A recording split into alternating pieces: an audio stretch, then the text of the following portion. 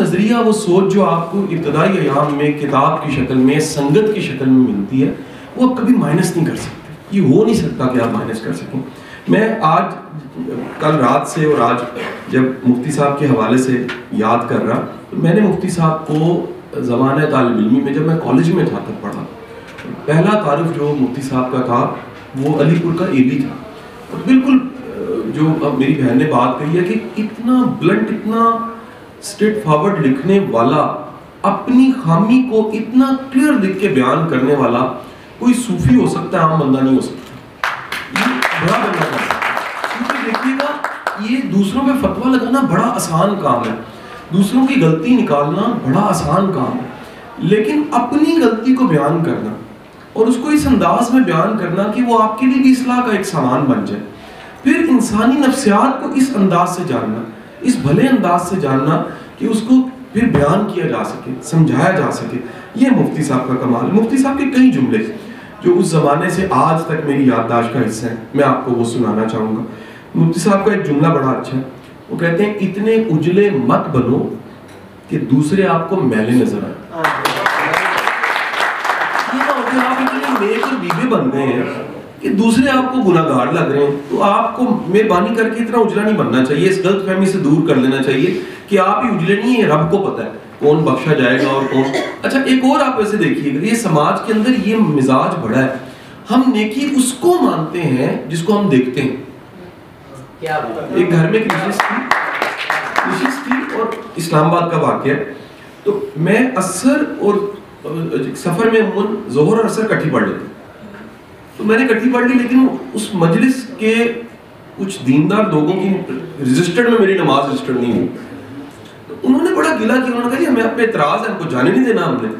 तो मैं डर गया कि कुछ जुर्म हो गया मुझसे, बड़ा गुनाह हो गया और तो मेरे पे आज दफ़ा लगेगी और अदालत जाऊँगा। तो उन्होंने कहा, जी तुम नमाज़ नहीं पढ़ी। मैंने कहा, जी, मैं इकट्ठी पढ़ लेती थी। वो मेरी नमाज़ हुई हुई थी, लेकिन वो माफ़ी माँगता हूँ, अल्लाह के रजिस्टर में जा चुकी थी, आपके रजिस्टर में नहीं जाएगी गई। तो इस चीज़ को शदीद मुफ्ती साहब डिस्करेज करते हैं। वो कहते हैं इबादत वो है जो रब के लिए, इखलास के साथ है। और सबसे खूबसूरत जो अंदाज मुफ्ती साहब की दिल्ली में मिलता है, अगर आप लबैक पढ़ो लबैक से आपको पता लगता है कि मुफ्ती साहब रब और बंदे के ताल्लुक को बड़ा वाजे है। वो दरमियान में किसी को नहीं आने देते। वो नहीं मानते कि दरमियान में चार पीर चाहिए, दो बाबे चाहिए, और कि कोई तवीज़ चाहिए, और कोई चीज़ चाहिए, कोई कड़ा चाहिए, कोई अंगूठी चाहिए। वो कहते हैं, नहीं, रब और बंदे का जो ताल्लुक है वो बड़ा मज़बूत होना चाहिए और बड़े मान के साथ होना चाहिए। वो जो सत्तर माओ वाला प्यार है तो माँ पे आपका एक बड़ा मान दावा होता है कि मेरी माँ है। तो जैसे आपको ये महसूस होता है कि मेरी माँ है, आपको जो जब आप मेरा रब कहते हैं, तब महसूस क्यों नहीं होता? तो मेरा रब है, मेरा रब, इन्ना रबी आप कहते हैं तो आप महसूस करें कि मेरा रब है। तो वो रब जो मुझे पालने वाला है माँ के पेट में भी, और जो मेरा पालन हार है, जो असबाब पैदा करता है। अच्छा लबैक जब मैंने पढ़ी तो मैं लबैक को ऐसे ही पढ़ा था जैसे हज के सफ़रनामे बेशुमार मौजूद हैं मार्केट में बेशुमार लोगों ने बड़े बड़े अच्छे लिखे हुए और उसमें डॉक्टर आसिम महमूद जाकर मुझे बड़ा अच्छा लगा और भी बड़े लोग थे। लेकिन मुफ्ती साहब का जब मैंने लबैक पढ़ा तो लबैक से मुझे पता लगा कि ये मुफ्ती साहब बाहर के सफ़र को हज नहीं कह रहे। मुफ्ती साहब अंदर के सफ़र को हज कह रहे हैं। हज करें। और आप हज करके भी कई लोग नहीं बदलते। मुझे आपा एक अजीब मेरे साथ वाक्य हो। मैं एक दफ़ा आ रहा, लंदन से आ रहा तो मेरी कनेक्टिंग फ़्लाइट थी और वो फ़्लाइट जद्दा से थी। यानी मैं जब जद्दा लैंड किया तो वो दिन थे हज के अयाम थे। तो आधी जो सवारियाँ थी, वो आधी सवारियाँ हाजियों की थी, जद्दा से। तो दो चीज़ें मेरे लिए बड़ी अजीब थी। मतलब मैं उसको हजम आज तक नहीं कर सका। कि कुछ हमारे हाजी भाई, वो सऊदी एयरलाइन के जो कंबल थे, वो भी पैक साथ करने लग पड़े। जब अनाउंसमेंट हुई कि जी अब उतरना जहाज़, और कुछ चलते जहाज़ में से उतरने की कोशिश कर रहे थे। तो मुफ्ती साहब, उस फ़िज़िकल सफ़र, एक ऐसा आपने जहद की, कोशिश की तरद किया, टिकट भरी, और लाइनों में लग के इतना फ़िज़िकल आपने सफ़र किया, लेकिन आपके अंदर कोई तब्दीली नहीं आई, उसको वो हज नहीं मानते। वो कहते हैं, हज वो है, जिसमें आपकी रूह ने कहा है लबैक आपके अंदर से आवाज़ आई है कि या बारी ताला गुनागार बंदा हाजिर है। और ये जो है, गुनाहों से भरा हुआ हाजिर है, इसको तू बख्श दे। ये ये जो कमाल और फिर ये फीलिंग कि आप जब वो चक्कर लगा रहे हैं, आप तवाफ कर रहे हैं तो ये आपकी ज़ात का तवाफ भी। आप कहीं तवाफ तवाफ का मतलब है वारी जाना ना। आप अपने आप को फना कर रहे हैं कि कोई ऐसी जात है जिसके लिए मैं फना होने को तैयार और आज मैं ये सात चक्कर लगा के ये दोहरा रहा हूँ, अपने आप को बता रहा हूँ कि कोई है जिस पे मैं वारी जाने को भी तैयार हूँ। कोई है ऐसा जो मेरा इलाह है? कोई है ऐसा जिसके लिए मेरी पूजा पाठ, मेरी इबादत, मेरी जात वो सब कुछ हासिल है? तो ये लबैक का सफ़र मुझे बड़ा कमाल लगा। ये एक हट के सफ़र था।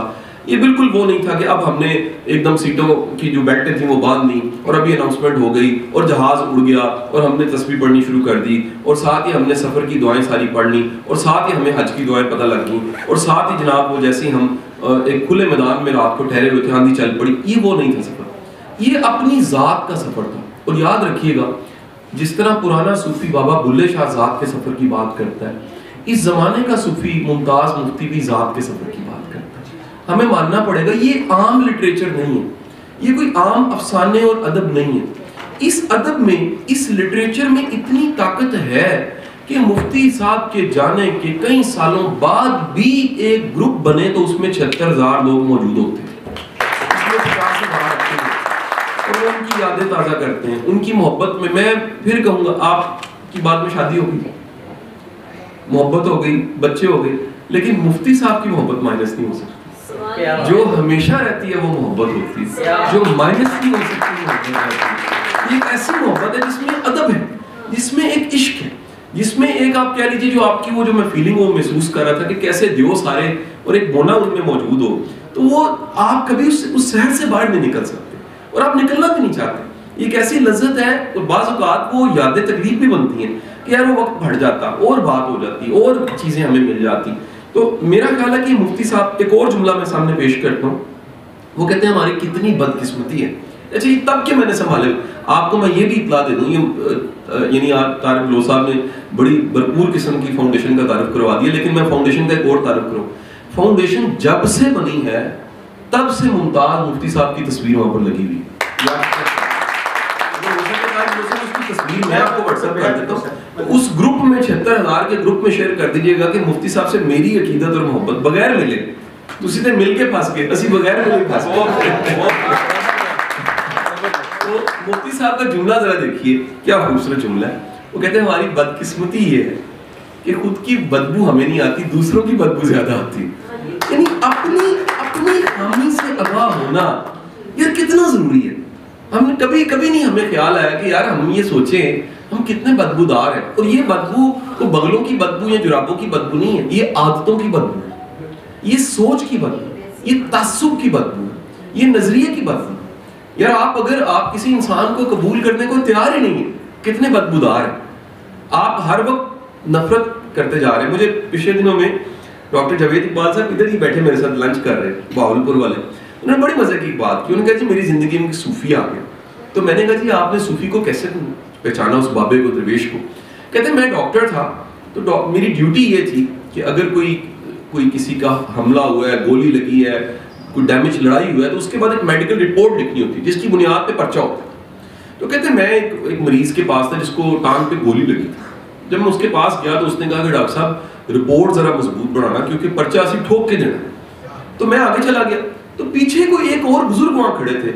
उसने उस जिसको गोली लगी थी उससे कहा मेरी गाल सुन माफ़ कर दे। उन्हें कहा नहीं माफ़ कर उन्हें कहा सोच जिन्हें तेन गोली मारी हो कितनी तकलीफ़ ही होएगा कि उन्हें तेन तकलीफ़ दे सके? कितनी तकलीफ़ होगी? जो आपको तकलीफ़ दे रहा है, वो भरा पड़ा तकलीफ़ से यार। उसको भरा पड़ा है। और मैं समझता हूँ, बाज ये भी सवाब है कि कुशन और तकिया मन के किसी को कहते हैं, यार, दो सुन मार ले। दो गाना कट ले, तू ठंडा हो जाए तेरी तकलीफ़ कट जाए। आप ये बड़ा काम करते हैं। तो आप कितने बदबूदार हो गए कि आपको आते हैं और सोच बदबूदार मिल गई। फिर मुफ्ती साहब का एक बड़ा खूबसूरत जो जुमला, वो कहते हैं कि दूर के दो, जो ढोल है, वो सुहाने ये कहा जाता है। कहते साइंसदान कितना बेवकूफ़ है। वो चाँद तारों का हिसाब लगा रहा है और उसे पता ही नहीं है कि पास बैठा इंसान खुद एक इसरार है। अगर उस पर गौर किया जाए, वो, इस पे एक और जुमला वैसे बासिफ साहब का बड़ा अच्छा है कि इंसान चाँद को फतह कर लेता है। साथ बैठे का दिल फतह नहीं करता। दिल। जीत के देखे चलो जी, चाँद पे झंडा ना गाड़ा, अली सर पारा आप ना बन पाए तो किसी के दिल पे झंडा गाड़े। मोहब्बत का झंडा। कि यार ये दिल फता किया हो, इसका दिल जीता हो, हमें दिल जीतने नहीं आते। सो एक और जुमला। वो कहते हैं कि जी, अगर हम मस्जिद में जाते हैं और जूती उतार देते हैं तो हमें अपने इज़्ज़त के अमामे भी उतार देने चाहिए। क्योंकि रब के सामने तो हाथ बाँध के खड़े होना वहाँ ना कोई चौधरी है, ना कोई राई है, ना कोई डीसी है, ना कोई जज है, वहाँ तो सारे बंदे हैं। तो जूती नहीं, साथ अपनी इज़्ज़त की पगड़ी भी बाहर रखनी चाहिए कि हम एक ऐसी साथ में खड़े होने लगे हैं जहाँ सारे मंगते मुझे वो कभी पुराना एक वाक्य याद आता है, जो हमने कभी छोटे छोटे अफसाने और कहानियाँ पढ़ी कि एक एक बादशाह अपने ग्रुप से कहीं वो गुम रहा हुआ और जंगल में भटक गया, पानी की तलब थी। तो एक कुटिया तक पहुँचा जहाँ उनको बाबा मौजूद था, उसने उसे पानी पेश किया। बादशाह को पानी, ठंडा पानी मिला, बड़ा खुश हुआ और जब जाने लगा तो उसने अपनी अंगूठी उतार के दे दी और कहा कि ये अंगूठी रख लो, मैं बादशाह हूँ। उसने कहा मुझे यकीन नहीं आ रहा। उसने कहा, यकीन तुम्हें तब आएगा जब तुम्हें को काम पड़ जाएगा तो काम पड़ेगा इस अंगूठी के साथ तुम मेरे महल में आना। इस अंगूठी की खास बात ये कि तुम जहाँ दिखाओगे, रास्ता तुम्हें मिलता जाएगा। दरबान हट जाएँगे और मिलता जाएगा। और जहाँ मैं मौजूद हूँ वहाँ तक तुम डायरेक्ट पहुँच जाओगे। खुदा का करना, कुछ ही महीने गुजरे तो उस बाबे को काम पड़ गया। अंगूठी पकड़ी और महल की तरफ़ वो चला। जिसको अंगूठी दिखाए वो हट जाए और हटते हटते आखिरकार, वो जिस कमरे में बादशाह का इशारा हुआ कि यहाँ पर बादशाह है, उसके दरबान भी हटे। तो वो हैरान हुआ कि बादशाह जाए नमाज़ लिए, सर सजदे में रख के गिड़गड़ा के दुआएँ मांग रहा है। तो ये पलटा ये पलटा तो बादशाह को ख्याल आया कि पीछे को पर्दे के है। उसने एकदम से क्लैप किया और कहा, पकड़ो, कौन है? तो वही बाबा अंगूठी के साथ, उसने कहा, जी, तुम आए हो। आ ही गए हो तो काम के साथ आए होगे उनका जी नहीं बोलो कोई काम नहीं। जी बोलो, वापस जा कहा, नहीं नहीं, हो नहीं सकता। क्योंकि तुमने वादा मैंने तुम्हें दिया था कि ये इस अंगूठी को दिखाते पहुँचना है, काम पड़े तो आना है। उसने कहा जी आया था मैं काम के लिए था लेकिन इधर आके पता लगा आप तो खुद मांगते हैं। मैंने भी डिसाइड किया मैं भी कहीं जाए नमाज़ या किसी कच्ची ज़मीन पे सर रखूँ उसी से मांगूं जिससे आप मांगते हैं। ज़रूरत कोई नहीं है मांगने की। फिर मुफ्ती साहब के और जुमलों में वो कहते हैं कि हमारी बदकिस्मती है जब हमारी दुआ कबूल हो जाती है ना तो ये खुशी की दुआ कबूल हो गई। इस खुशी से ज़्यादा बात हम उदास होते हैं कि कुछ और भी मांग लेते कि दो को टिकटा और भेज दे। या हमारी ताला दो कम हो गए ने, या दो कम होर हो जाते। यानी बात किस्मती देखिए कि शुक्र अदा करने की बजाय हम गमगीन हो जाते हैं कि दो गल्ला होर फरमाइशा सी पूरियाँ करा लेते वो कहते हैं, ये सब बात करते हैं कि जो हुलिया है, वो दाढ़ी मुबारक है या आपने, वो सुन्नत है। कहते हैं, काश कि ये भी को बात करे कि वादा पूरा करना भी सुन्नत बदसलूकी ना करना भी सुन्नत खुश इखलाकी से पेश आना भी सुन्नत है। किसी की गलती को दरगुजर कर देना भी सुन्नत है। खिदमत करना बड़ी सुन्नत है। आसानी पैदा करना बड़ी सुन्नत है। तो मुफ्ती साहब, एक प्रैक्टिकल दीन की बात करते हैं अच्छा आज आप देखें, ये बाकायदा हमारे जो आज के बाबे इसकी बड़ा प्रचार करते हैं। आप अगर इरफान हक साहब का पैगाम सुने, सरफराज शाह साहब का पैगाम सुने, ये सब के सब बाबे हमारे, वो कहते हैं कि प्रैक्टिकल दीन है। ये, यानी कह लीजिए, चिल्ले लगाने की बात नहीं करते। इनके पास को जाए कि जी, ये प्रॉब्लम है। वो कहते हैं, जी, आपने खानदान पे आसानी करो। अपने करीबी लोगों पे आसानी करो। तो वही मैसेज हमें मुफ्ती साहब का मिलता है। फिर एक जो बड़ी ही खूबसूरत बात जो कह लीजिए मुफ्ती साहब की हमें मिलती है दो जो सफ़रनामे कह लीजिए सॉरी उनकी जो दो किताबें ऐसी जो बड़ी पॉपुलर हुई और उनकी शनाख्त बनी अलीपुर का एली। अलीपुर के एली में आपको अकल दलील इवन वालिद के खिलाफ थोड़ी सी बगावत वो सब चीज़ें मिलती हैं। अच्छा अलग नगरी का जो दौर है ना वो मुफ्ती साहब जो है, वो बाबों से और सूफियों से मुतासर हो चुके थे। और इसमें आपको अकीदत, खुद सपुर्दगी रूहानियत और सबसे बड़ी, वहाँ बाप से बगावत थी, यहाँ माशरे से बगावत थी।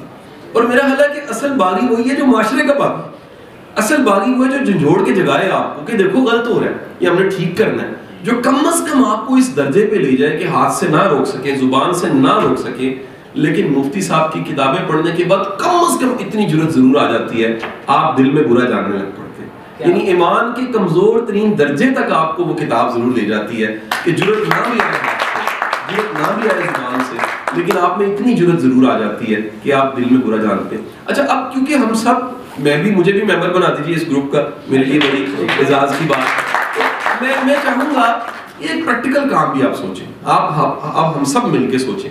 देखिए हम तो खुशकिस्मत ठहरे छिहत्तर हज़ार, जिसमें से पचास हज़ार एक्टिव हैं, जिन्होंने मुफ्ती साहब को पढ़ी मुफ्ती साहब से मुतासर हुए और मुफ्ती साहब, कह लीजिए, उनकी किताबों से और उनके कलाम से, उनकी यादों से हम मुतासर हो गए। हम क्यों ना आज ख्वाब देखें कि मुफ्ती साहब का कुछ लिटरेचर का हिस्सा निसाब में भी शामिल होना चाहिए। क्योंकि एक आपको बात बताऊँ, ये सारे दरवाजे हैं, ये जुड़े हुए हैं आपस में। ये कुदरतुल्ला शहाब साहब हो ये बानो आपा हो, ये इशफाक साहब हो, ये वासिफ अली वासिफ साहब ये सारा एक कबीला है। जिनका कमाल ये है, मैं अगर ये एक वन लाइनर बोलूँ, इन्होंने लिटरेचर को पर्पस के साथ लिटरेचर बनाया। मतलब मैं इधर जाता हूँ, वो इधर आती है, ज़्यादा से ज़्यादा इसके एंड शादी हो जाएगी। फिर वो उधर जाती है, फिर इधर आती है, कुछ तीन चार बच्चे भी हो जाएँगे। इस किस्म का लिटरेचर नहीं है ये। ये लिटरेचर पर्पस के साथ लिटरेचर है। कि चाहते ना चाहते मुफ्ती साहब को पढ़ने के बाद आप कोई रास्ता लेना चाहेंगे। आपको जाए नमाज़ ढूंढना चाहेंगे। आपको बड़े मान दावे से उससे दुआ मांगना चाहेंगे। आप, आपको कोई अदब की चाशनी और एक ब्लंट अंदाज से बात को सुनना, बात को कहना, ये मुफ्ती साहब आपको मिल जाएगा। तो हमें एक तहरीक ये भी चलानी चाहिए कि मुफ्ती साहब को अगर हम पक्का पक्का चाहते हैं, वो दिलों में रहें तो आज तो ये उनके कलाम की और उनकी यादों की ताकत है कि पंद्रह साल बाद भी बल्कि ज़्यादा टाइम में गुजर गया शायद मेरा ख्याल है मुफ्ती साहब को दुनिया से पर्दा फरमाए को चौबीस साल गुजर गए। तो अगर हम क्यों ना ये तहरीक चला दें कि मुफ्ती साहब का हिस्सा जो कोई लिटरेचर का है कुछ शॉर्ट स्टोरी कुछ ना कुछ, वो निसाब में भी हो। कि वासिफ अली वासिफ में 95 में एक मकाला था, एक रिसर्च हो रही थी तो वो मोहतरमा मेरे पास आई। वो कहने लगी कि वो तमाम लोग जो तस्वीर में मौजूद थे, मैं भी उनके नाम नहीं लेता, गुस्ताखी हो जाएगी। वो मुकर के कहते हम तो जानते भी नहीं है। ये बड़ा प्रॉब्लम है। हमें मानना पड़ेगा कि ये जो हसद है ये सिर्फ़ गलियों मोहल्लों में नहीं है। ये लिटरेचर में भी है। ये हर जगह में पाया जाता तो बहुत ज़्यादा पढ़ा बहुत ज़्यादा ये चैलेंज है। और आखिरी बात करूँगा आप सबसे कि मुमताज़ मुफ्ती साहब एक वाक्य जो मुझे बड़ा ही वैसे कह लीजिए जिसने इंस्पायर किया और आप में से हर वो बंदा जो लिखने बोलने पढ़ने वाला उस्ताद है उसके लिए वो वाक्य बड़ी इंस्पिरेशन है।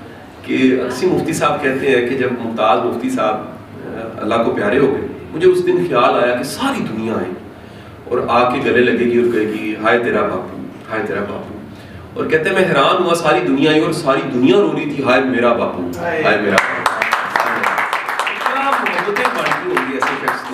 कि वो उनके जाने के बाद उनको सारे आज भी याद कर रहे हैं।